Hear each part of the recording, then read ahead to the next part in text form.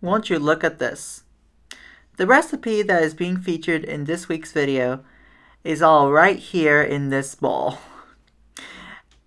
And this salad is called the edamame snap pea salad. It's a really good summer salad and we're going to show you guys how to make it.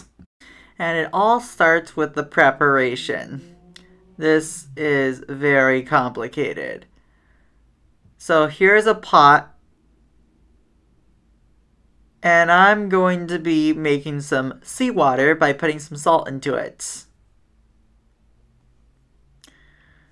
So I just eyeball that. You can measure it or just eyeball it. and we're going to prepare for this to be accepted into the seawater. Alright, so got the water boiling. I'm going to add like a couple more dashes of salt in here. And let that dissolve and I'm going to bring this up to a boil and then we're going to start blanching the snap peas. Let me go get Yes, this process is called blanching. More about that in a bit. So, but first we're going to chop up the snap peas. So here are some satisfying sounds of ASMR to get us through this. Roll the clip.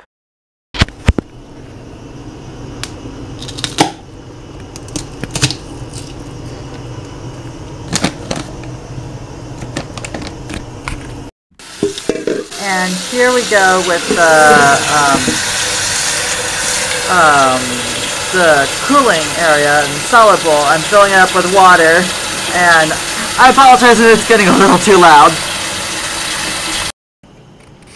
And here we go. Um, here's the ice bath. And this is going to be used for shocking the snap peas after they cook in the pot. And here goes the blanching process. The waters came to a boil, so we're going to go ahead and prepare to put in those sugar snap peas. I spent a multitude of hours preparing the snap peas for this process, so I packed them into the packaging where it originally came in, and I'm going to just dump them into the pot of boiling water, which is literally like 100 degrees or something and uh, two minutes on the timer and they will be ready. Next, we're after it's done, we're going to take a little slotted spoon and we're going to take some of those peas and we're going to drop them right into this ice bath to shock them. Shocking process basically cools them down right away so it makes them nice and vibrant for the salad. And now we're going to make the vinaigrette for the salad.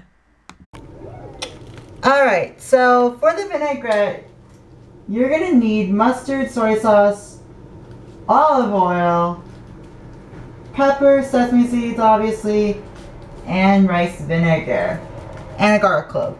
First up, we're going to grab a garlic clove and we're going to peel it being legitimately honest. So we're going to go ahead and I'm going to start peeling this garlic clove and we'll be right back. Alright, so we're going to process in the food processor. So first step, pop the top. We're going to go ahead and pop the garlic in there. Make sure it's all plugged in and everything. And we're going to give it a whirl.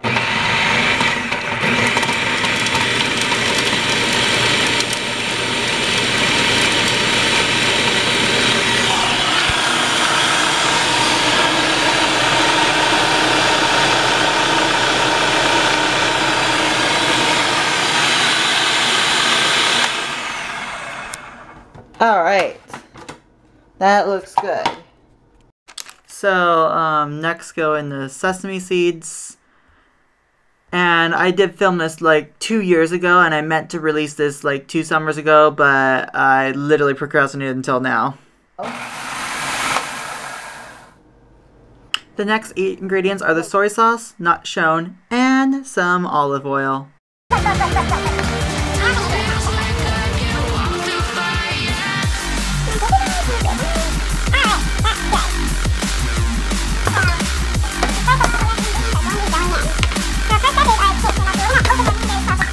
The next ingredients are mustard, and then the oil goes in.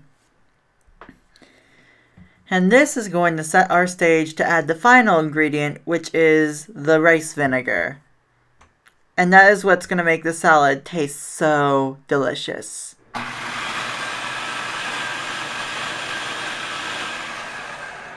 And now it's time to add um, the rice vinegar. And now we just add the rice vinegar into the processor and blend.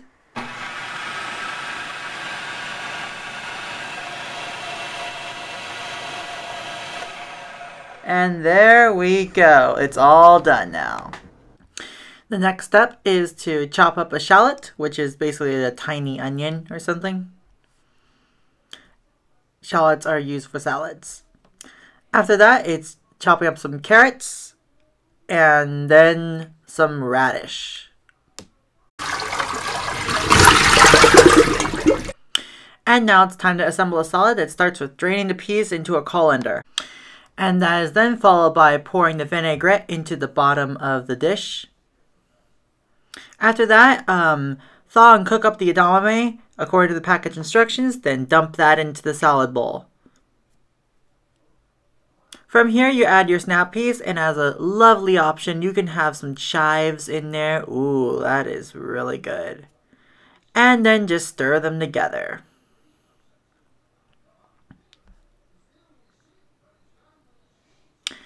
From there, um, you add the radishes, shallots, and carrots. Toss it up one more time, and it is ready to serve.